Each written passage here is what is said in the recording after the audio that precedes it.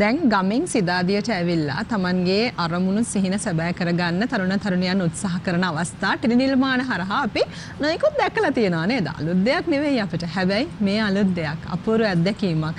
මේ වෙනස නිසාවෙන්ම තමයි සතිය දිනවල රාත්‍රී 7:30ට සිදාදියේ සමනලියෝ ටෙලි නිර්මාණය නරඹන්නට ස්වර්ණවාහිනී ටෙලිතිරයේ දරයෝ බස්සුන් ගන්න. ඉතින් මේ වෙනකොට අපිට හිතා ගන්නවත් බැරි තරමේ ප්‍රතිචාර සිදාදිය සමනලියන්ට ලැබෙන්නේ ඒ වෙනස ඒ අපූර්වත්වය නිසාවෙන්ම තමයි. ඉතින් අපිට මේ සමනලියන් මංගනිකාගේ බෝඩිම මේ හැමදේම දැන් අපිට හරි සමීපයි හරි හුරු පුරුදුයි. හැබැයි ඉතින් ටිකක් අපි කල්පනා කරන පොඩි අභිරහසක් වගේ গুপ্ত ස්වභාවයක් දැනෙන ගෙදරකුත් තියෙන ඒ පසුබිම තමයි දැන් මල්කි වැඩ කරන්න ගිහිලා තියෙන බර්නාඩ්ගේ ගෙදර.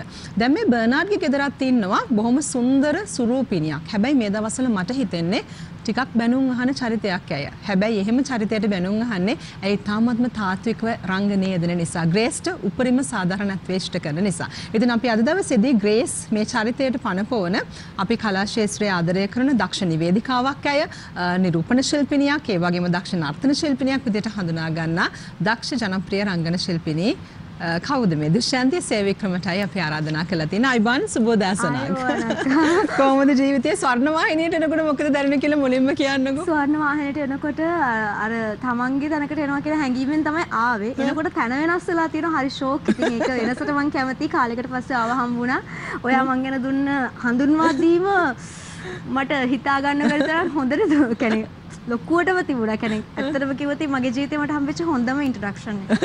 දැන් පාසල් වේදිකාවේදී මේ වැඩෙක් වුණාට නාට්‍ය ශාස්ත්‍රයේ විශේෂයෙන්ම මේ ටෙලි නිර්මාණ හරහා වැඩෙක් වෙන්න දුෂ්යන්තිට අවස්ථාවක් ලැබුණා මදි කියලා තමයි අය පෞද්ගලික විශ්වාස කරන්නේ. මට හිතෙනවා හොඳ අවස්ථාවක් ලැබුණ කියලා සිතාදිය සමල්‍ය හරහා ග්‍රේස්ට පනපවන අපි ඒ ගැන කතා කරමු. ඉස්සෙල්ලම කියන්නේ කොහොමද ප්‍රතිචාර කියන්නේ? ප්‍රතිචාර මෙහෙමයි. පිය විහාර දකින්න අය නම් කියනවා හොඳට රඟපානවා ඒක ලස්සනට කරනවා හරි ෂෝක් කනමාව දන්නයි විශේෂයෙන්ම. පාරදි දැක්කම ගොඩාක් අය චරිතය හරහා හඳුරනවා. අම්මෝ එයා එච්චර නපුරුද කියලාත් අහනවා. නමුත් කමෙන්ට්ස් දැක්කහම නම් මටම දුක හිතෙනවා. දෙයනේ මම නෙමෙයි ඒ ග්‍රේස්. ඉතින් ඒ චරිතේ මට ඒ විදිහට තමයි ඇත්තටම කිව්වොතින් දරංජයගෙන් ලොකු සහයෝගයක් ලැබුණා. මේ මම නොවන කෙනෙක් නිර්මාණය කරන්න. මම එහෙම කෙනෙක් හීනකින්වත් නෑ. මම ගොඩක් කතා කරන ඒ වගේ හරි බබ්ලික් කැරක්ටර් එකක්. ඉතින් එතන ඉන්න කෙනා හරිම ඇටිටියුඩ් එකෙන් ඉන්න, එයා වෙනම ලෙවල් එකෙන් ඉන්න, කාවත් ගණන් ගන්න නැති ගොඩක් හංගගෙන ඉන්න චරිතයක්. ඉතින් ඒ චරිතේ මට ලොකු අත්දැකීමක්. ඔය අර මගේ FB එකේ දාලා තිබුණු සටහන අරගෙන තිබුණ හරි ෂෝක් එක. මේ ඇත්තටම ජීවිතේ මම විශ්වාස කරන දෙයක් අක්කේ මට මගේ රංගන හැකියාව පාසල් වේදිකාව ගත්තොත් මම ගෝතම බාලිකා විද්‍යාලයේ තමයි ඉගෙන ගත්තේ. කවුරුත් මම හඳුනනවා. පාසල් වේදිකාව ඇත්තටම මම පිළිගන්නවා පෞද්ගලිකව මම වැඩෙක්. වැඩෝ අතර වැඩෙක්. වැඩෝ අතර වැඩෙක්. ඉතින් ඒ කාලේ පෙන්වන්න පුළුවන් වෙච්ච හැකියාව මට ඇත්තටම ටෙලිතිරේ හරහා පෙන්වන අවස්ථාවක් ලැබුණේ නැහැ. ඒක මගේ නොලැබීම. ඇත්ත වශයෙන්ම. මොකද පොඩි ලක් එකක් තියෙනත් ඕනේ නේද ඉතින් මේකෙදි මම විශ්වාස කරනවා මට නෙගටිව් රෝල් එකක් කරා හරි ඒ අවස්ථාව ලැබුණා කියලා. මොකද රංගන ශිල්පිනියෙකුට ලැබෙන්නම ඕනේ ඒක.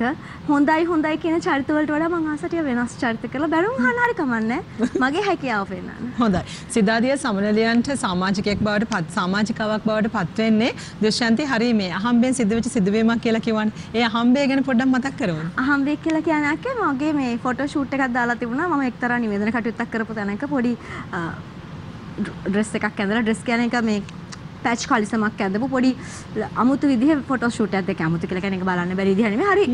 චූටි කෙල්ලෙක් වගේ ෆොටෝ මම ඉන්නවට අතර චූටි පාටයි. මේ ඒ ලුක් එකට මගෙන් මේකේ අපේ රියෝපි අයියා කපිල අයියා ඇහුවා මේ ඔයාට ගිටාර් ගහන්න පුළුවන්ද? කියලා මට ගිටාර එකක් අල්ලන්නවත් එහෙම දන්නේ නැහැ. මං කිව්වා සින්දුවක් නම් ඔන්න ඔය අන්තම් කියා ගන්න පුළුවන්. ගිටාර නම් ගහන්න බෑ කියලා. ඊට පස්සේ කිව්වා මෙන්න මේ විදිහට චරිතයකට සින්දු කියන ගෑනු ළමයි ගිටාර ගහන්න පුළුවන් ගෑනු ළමෙක් හොයනවා. මේක චරිතයක් තියෙනවනේ අපේ. ඔව් තියෙනවනේ වශිකම. හොයනවා. හොයනවා.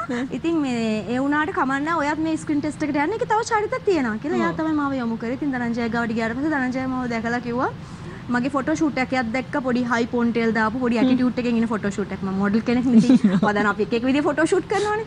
කිව්වා මේ ලුක් එකට ඔයාට පුළුවන් මේ විදිහට කරන්න? කියලා. එයා කියපු දේ මම ඒ වෙලාවේ කරලා පෙන්නුවා කියලා. මම හිතනවා ඊට පස්සේ මම හිතවව තේරුණාද දන්නෙත් නැහැ කියලා. ඊට පස්සේ නෑ අපේ එඩි අයියා කතා කරලා කිව්වා මෙහෙමයි මම මේ චරිතෙට තෝරගත්තා කියලා. ඉතින් හරි සතුටුයි.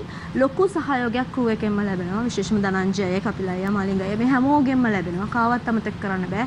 චරිතේ වෙනස්ම විදිහට ක්‍රියේට් කරන්න ඇත්තටම ඒ මේ ධනංජයගේ මගේ ලුක් එකත් එක්ක ඔළුවේ තිබිච්ච දේ තමයි එයා හදන්නේ. මොකද මගේ කොණ්ඩේ කර්ල් මගේ කොණ්ඩේ ස්ට්‍රේට් නෑ. හයි පෝනිටේල් දාලා. එයා කියනවා මේ මගේ මේ ෆීචර්ස් එකක් තියෙනවලු. ඒක තමයි ආ එතන හයිලයිට් කරන්නේ. මේ නහය උල් එකත් එක්ක මූණේ උල් එක. ඒකත් එක්ක අර ඇටිටියුඩ් එකකින් ඉන්නවා. මරු ඒක හරිම ඇටිටියුඩ් එකකින් තමයි ඉන්නේ. අපිට ඉතින් බනින්න තමයි හිතෙන්නේ ග්‍රේස්ට මොකද ඒ චරිතය මේ අර මල් කිට එහෙම ඒ විදිහට කතා බහ කරනවට අපි කැමති නෑ. කවුරුත් කැමති නෑ. අපි කොටසක් නරඹලේමද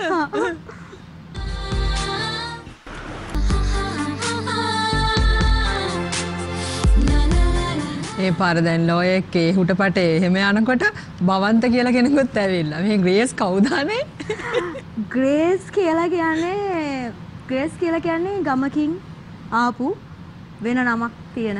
එතනත් පොඩි කෑල්ලක් ළඟකදී පෙන්නුවා. තව ඉස්සරහට කියවෙයි.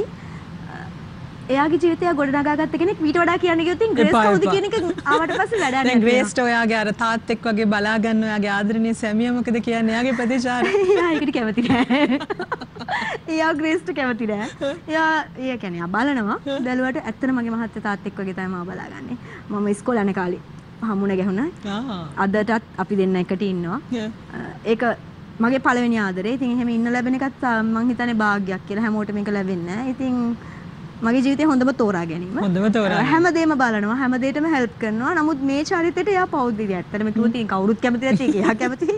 එයා ඉතින් අර එයාට තේරෙන්නේ අර මගේ මම හිතන කැපැසිටි එක එයා කැමති බව හොඳට ලස්සනට දකින්න. මේ එහෙම දකින්න බෑ. මම ආසයි ග්‍රේස්. පෞද්ගලිකව මම ගොඩක් ආසයි ග්‍රේස්ට. මගේ ජීවිතේ කැරක්ටර් එකක් විදිහට මගේ ජීවිතේ මට ලැබුණ හොඳම බ්‍රේක් එක කියලා මම විශ්වාස කරනවා. වෙනස් විදිහ දෙයක්. දැන් අපි දුෂන්තිව මේ මුලින්ම රංගන ශිල්පිනියක් විදිහට ටෙලි නිර්මාණ හරහා දකින්නේ ස්වර්ණවාහිනියෙන්ම තමයි. ලස්සන සුන්දර අතීතයකුත් තියෙනවා. ඒ අතීතයත් මතක් කරන්න. ඒ අතීතය කියලා කියන්නේ ඒකයි මම කිව්වේ මම මෙතනට එනකොට මගේ අර මගේ තැනකට එනවා වගේ දන්නා කියලා ඇත්තටම කිව්ව ඉතින් අක්කි මම දෙයක් කියන්න ඕනේ. ඒක මගේ ජීවිතේ මම ගොඩක් හැඟීම්බරව මේ දේ කියන්නේ. ස්වර්ණවාහිනිය ගැන කියන්නත් ඕනේ. මොකද ස්වර්ණවාහිනියත් එක්ක ගොඩක් සම්බන්ධයි. මගේ ජීවිතේ මම ඔතන ඉඳන් ඔය කියන්නේ ඔය සීට් එකේ නෙවෙයි නමුත් ප්‍රසන්ට් කෙනෙක් විදිහට ඕන තරම් කට්ටිය එනවා මේ හඳුන්වලා දීලා ඇති ඕන අයත් එක්ක දැනටත් ඉන්ටර්විව්ස් කරනවා. ඒ වගේම මම ක්‍රවුන් කරපු වෙලාවේ මිස් ශ්‍රී ලංකා විදිහට එක්තරා පැජන්ට් එකකදී මම ප්‍රෝග්‍රෑම්ස් වලට සහභාගී වෙලා තියෙනවා. නමුත් මම නිලියක් විදිහට පළවෙනි වතාවට තමයි මේ විදිහට වැඩසටහනක සහභාගී වෙන්නේ. මට හරි ආඩම්බරයි. පොඩි ආඩම්බරයකුත් එක්ක ඇත්තටම මම හරි ටචි අද. මම ටිකක් කලබලයිත් එක්ක අද. මේ මට ඒක හරි ආසාවෙන් මම කරේ මොකද ඇත්තටම කිව්වොත් ඉතින් මෙතනට තමයි මම එන්න බලාපොරොත්තු වෙච්ච තැන. ආ මම වෙන වෙන තැන් වලින් ආවට. ඉතින් අ, ස්වර්ණවාහිනිය කියලා කියන්නේ මගේ පළවෙනි ටෙල් නාට්‍යය සමන් කුමාර ලියනගේ අයියාගේ රන්තලිය වලව්ව. මම එතකොට අවුරුදු 18ක 17ක පුංචි ළමෙක්. මට ඒ අවස්ථාව ලැබුණා. ඉතින් ඒකෙදි මම ගායත්‍රි රාජපක්ෂ අක්කගේ යාළුවට රඟපෑවේ. ඉතින් ඒකේ ටිකක් රන් වෙච්ච රෝල් එකක්. නමුත් ඒක තමයි මගේ ආරම්භය. එතනින් තමයි මම පටන් ගත්තේ. අද මෙතනට එන්න ලැබෙච්ච එක. කොටිම කියන්නේ රංගනය කියන්නේ පිස්සුවක් නේ.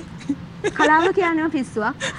දැන් අද මම රංගනේ ගන්න කියන්නේ. මට නටන්න හම්බුනොත් මම ඊට වඩා පිස්සු. ඊට වඩා පිස්සු. ඊට වඩා පිස්සු ඒ අනේ මන් දේ වගේ ඈත් වෙන්න බෑ මිනිස්සුන්ට. කොච්චර හරිම කවුරු ලස්සනයි නංගි ඔයා. අනේ thank you. රූපරාජිනියක් නේ නේද? ඉතින් බලන්නකො ග්‍රේස්ගේ චරිතයට හරි අපූර්වට පනපවනවා. දැන් ග්‍රේස් වගේ චරිත මේ සමාජයේ ඇත්තේ නේද නංගි? නැති වෙන්න බෑ මොකද හැමදාම හොඳ චරිත සුදු චරිත විතරක් තියෙන්නේ නෑනේ කළු සුදු කියන දෙක දෙපැත්තම චරිත තියෙනවා සමාජය ඇතුලේ.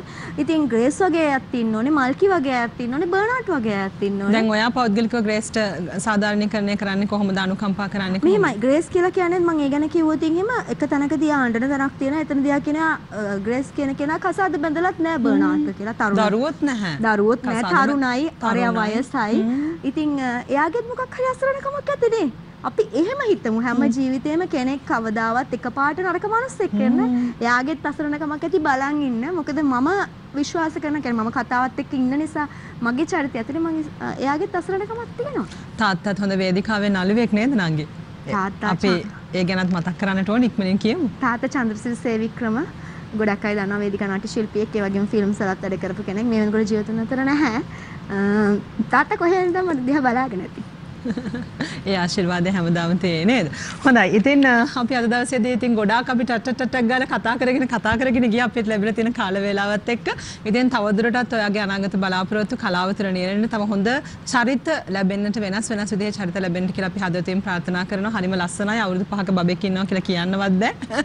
පෞල් ජීවිතය තුළත් ඒ සියලු අ, සතුට ආදරය වැඩි වර්ධනය වේවා කියලා ප්‍රාර්ථනා කරනවා. ඉතින් සිතාදිය සමනිල නරඹන්න කියලා ඉක්මනට ආරාධනා කළ වැඩසටහන අවසන් කරමු. අනිවාර්යෙන් නරඹන්න හැමදාම ග්‍රේස්ට බයින්න එපා.